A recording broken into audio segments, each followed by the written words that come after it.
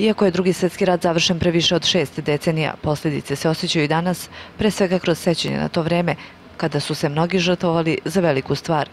Knjiga Ponovo rođeni, ponovo dostojni predstavlja skup priča sa biografskim podacima o ljudima i njihovim sudbinama i svemu onome što su doživjeli nakon drugog svetskog rata kada su proglašeni za narodne neprijatelje, a šest decenije kasnije na osnovu zakona o rehabilitaciji mnogi od njih nisu doživjeli da se nepravda ispravi. Makom e, rehabilitovana lica su već upokojena i e, najčešće su podnosioci ovaj, predloga za rehabilitaciju bili njihovi najbliži, znači članovi porodice, tako da ovaj, smo sa njima stupili u kontakt.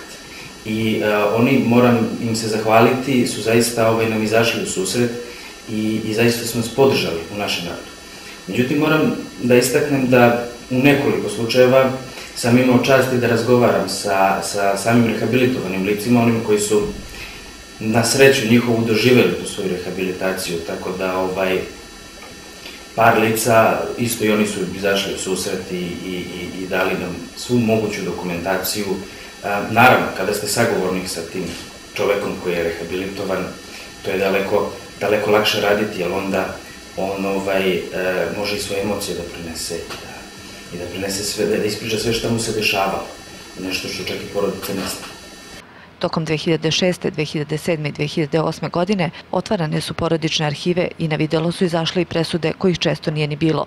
I sudije i podnosioci zahteva za rehabilitaciju imali su dosta strpljenja da se pronađe dokumentacija, a sve u cilju da bar porodice doživi i uveri se da su njihovi najbliži nepravedno osuđeni.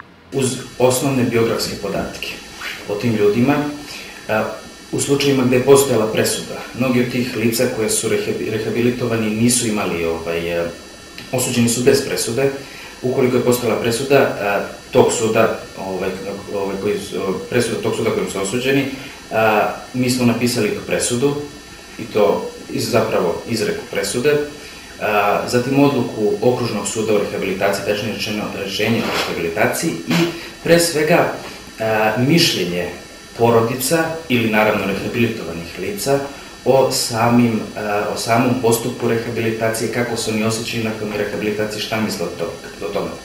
Pored toga, gde smo imali ovaj, mogućnosti, gde smo imali podataka, mi smo pisali i o samom, samom, samoj torturi koju su oni preživali prilikom izdržavanja kazne, ovaj, koja moram reći da je, naročito u slučaju ljudi koji su bili na golom otoku, je zaista bila najblaže rečeno su. Da, Ono što ja znam, u što sam upućen, jeste da veliki problem imamo uh, uh, prilikom prikupljanja podataka ovaj, od strane arhiva. Uh, moram da pohvalim Valjevski međuopštinski istorijski arhiv koji je najrevnosniji. Međutim, imamo problem sa arhivima u Beogradu, gde je zakonski rok da nam u roku od 60 dana dostave ove podatke, nekad se dogodi godinu dana u nekoliko puta, da im ponavljamo te dopise, pretpostavljam da oni prikupljaju da, ove podatke za sve ljude u Srbiji, tako za sve ovaj sudove u Srbiji, tako da ovaj i oni imaju problem. E, čim se steknu uslovi, ovaj, ne sumnjam da će e, sudije okružnog suda i okončiti te spore.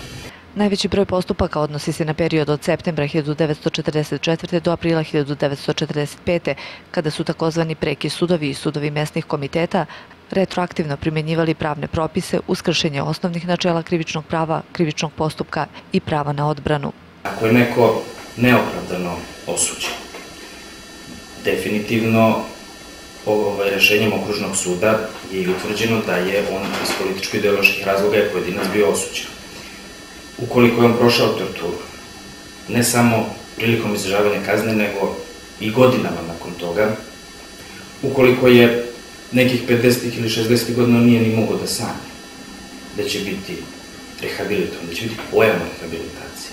Onda on bude rehabilitovan.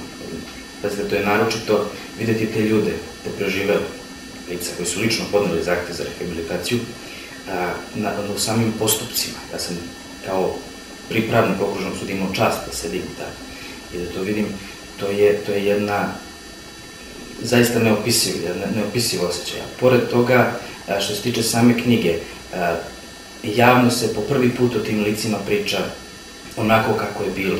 Po prvi put se govori istina.